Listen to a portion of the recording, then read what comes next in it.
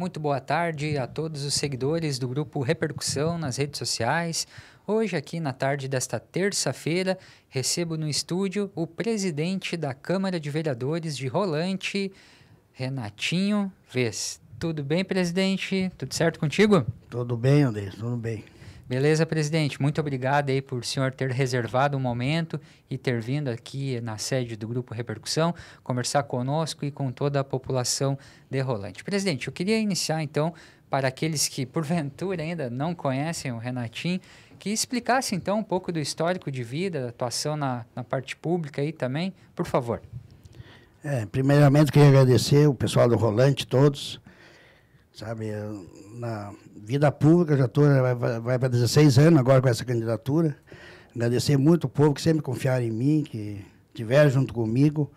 E sempre tentei fazer o melhor que pude, sabe? A gente sabe que nunca faz tudo que tem que ser feito, mas a gente tenta fazer o melhor. E o povo reconhece, todo o povo reconhece quando a pessoa está no rumo certo, que é um bom político e tudo, porque a gente faz e vê a recompensa. Eu já fui quatro vezes Três vezes eu, consegui, eu fui o mais votado do município, sabe? Que é uma. Uma façanha. Para mim, né? mim é muito. Né, é uma história, porque eu, antigamente eu nem imaginava ser político na vida. E agora o cara entrar, sabe? Já né, com idade e coisa, e o pessoal confiando no cara, e o cara fazendo sempre do melhor para a população do Rolante.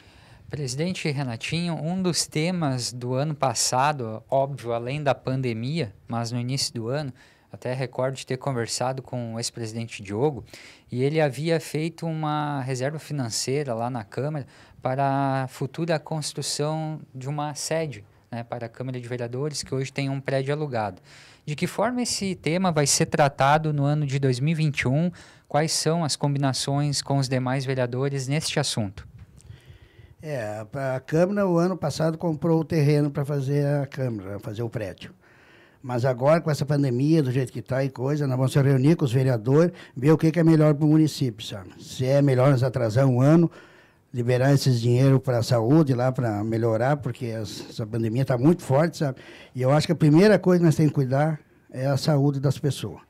Daí, depois, se der, se não der para esse ano, começa ano que vem, sabe? Porque essa pandemia com certeza vai passar e daí a gente começa. Tem tempo de começar e a saúde não tem tempo de esperar. Exatamente, né, presidente? É, não tem sentido, às vezes, muitas vezes, fazer o uso desse dinheiro que pode ser, talvez, usado em outra área, como o senhor está bem citando aí, na é. área da saúde, né? É, eu sempre digo, porque pagar aluguel é uma coisa sem, sabe, uma coisa sem retorno. Uhum. Eu sempre, na, na Câmara mesmo, eu sempre disse, ó, nós temos que fazer a Câmara por um motivo, que esse dinheiro que está sendo investido em aluguel dá para investir em saúde, educação, outras coisas. Mas como agora, de repente, agora não é o momento certo por motivo da pandemia estar tá muito forte, sabe? Como uhum. agora, agora que está vindo essas vacinas, de repente nós demos um tempo, se a prefeitura estiver né, precisando para a saúde, melhorar bastante para a população, nós temos que pensar agora nesse momento é no povo, a saúde do povo. Certo. Presidente, também uma outra, um outro ato lá na Câmara de Vereadores que deu bastante repercussão aí na, no ano passado foi a parte de redução salarial dos servidores também. Como foi construído essa, essa modificação interna que vai proporcionar uma economia de recursos também para a Câmara e para a cidade? É, isso aí nós entramos entre os vereadores, tivemos juntos, reunimos e pensamos todo mundo ajudar a contribuir. Sabe, a parte da Câmara ela fez, nós reduzimos o salário dos, dos funcionários agora, sabe, tudo em acordo com os vereadores, todos juntos e eu acho que a gente vê tanta coisa né, precisando ser feito, tanta coisa, então como se tu pode tirar um pouquinho ali, um pouquinho ali, vai sobrar para recuperar a saúde das pessoas. E outra também medida que vocês adotaram de forma coletiva, né, presidente, foi a redução salarial também dos vencimentos dos vereadores. Isso aí deu bastante debate. Como que foi essa construção também? É, isso deu debate, né? Porque uma, uma Câmara sempre tem é, nove vereadores, no caso. Só que nós achamos por bem reduzir o salário para o momento que o país vive, momento que o Estado, o município, nós achamos, digo, não, então vamos reduzir o salário. Nem todos concordam com a mesma porcentagem que foi dado, mas é que eu pensei reduzir, daí foi votado, né? Venceu o que o que está hoje uhum. ativo, só que Eu acho que foi um exemplo para o município, para o Estado e até para o Brasil, porque eu acho que uma Câmara de Vereador baixar 60 e poucos por cento, igual foi, eu acho que no município nem no país não deve ter. É bem significativa essa redução, é, né, foi presidente? bem significativo. É uma redução para um exemplo para o município. Agora nós contamos que a própria prefeitura também contribui sabe, com as reduções, onde puder, para poder contribuir mais com a população. Sobe mais recurso para a saúde melhorar bastante. Presidente, pegando esse gancho da saúde aí, que é a segunda vez que a gente dá uma leve pincelada, o que, que o senhor acredita que o prefeito Pedro Rippel e o seu time de secretários, em especial da saúde, uh, vão necessitar fazer nesta área? Né? A gente está, digamos assim, iniciando a vacinação, mas aquele problema lá da, da hérnia, o problema da consulta, dos exames de imagem, eles vão continuar existindo, né? As unidades básicas de saúde, enfim, uma infinidade de serviços que a população necessita diariamente, mensalmente, enfim, durante todo o ano. O que o senhor acha que ele precisa priorizar nessa área? Eu vejo a saúde, sabe? A saúde é, no mundo todo, ela não é perfeita, sabe? Ela sempre está faltando. Eu vejo ali no Rolante que tem que melhorar muito nos postos de saúde. Atendimento, sabe? Eu sou às vezes tem muitos municípios que agendam a saúde, mas eles passam. Eles agendam lá, tu vai lá marcar agenda, liga dois, três meses. Isso é impossível, sabe? A pessoa agendar esse prazo aí. Eu acho que os postos de saúde tem que ter, os postos como lá no Rolante, vamos fazer o caso do Rolante. Rio Branco é um, município, é um, um bairro que tem 8 mil habitantes, eu acho mais.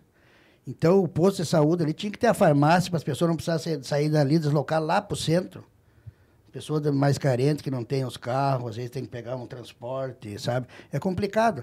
Eu acho que o prefeito tem que investir na saúde, nos bairros, que as pessoas não precisam, todo mundo ir para o centro. O senhor está defendendo a descentralização, é, então, de alguns serviços, né? Do serviço mais perto das pessoas, que seja atendido mais perto das suas residências. Certo. Então, presidente da Câmara de Vereadores de Rolante, Renatinho Vez, muito obrigado pelo senhor ter reservado um tempo na sua agenda e ter vindo até Sapiranga conversar conosco. Gostaria que o senhor deixasse, então, uma mensagem final a toda a população de Rolante. É, eu agradeço aqui o jornal que nós tivemos, o Davis aqui. Daí eu, eu acho que o Rolante está no caminho certo, sabe? Não interessa é como nós falamos na política. Terminou a política, terminou os partidos. Hoje em dia, todo município, sabe? Não interessa o partido que seja, nós temos que pensar nas pessoas, na população. E no Rolante é um município que eu moro ali, acho que uns 20 e poucos anos, e confio, sabe? Um município que eu gostei de morar, eu tenho dele calçado lá há muitos anos, sabe? E eu vim para morar e me dei certo. Gostei do município, é um município bom, muito cuidado, está bem cuidado. Hoje em dia, o pessoal vai lá no município Rolante e diz, bah, mas tá bonito o Rolante, porque tá bem conservado. Seguro também, né? É, seguro, muito asfalto, tudo. E eu acho que é assim, ó, a população, a gente tem que gostar onde a gente está. Todo mundo tem que gostar o que faz, o que tem, porque a coisa mais ruim da vida é tu fazer um serviço que tu não gosta. Todo mundo sabe, né?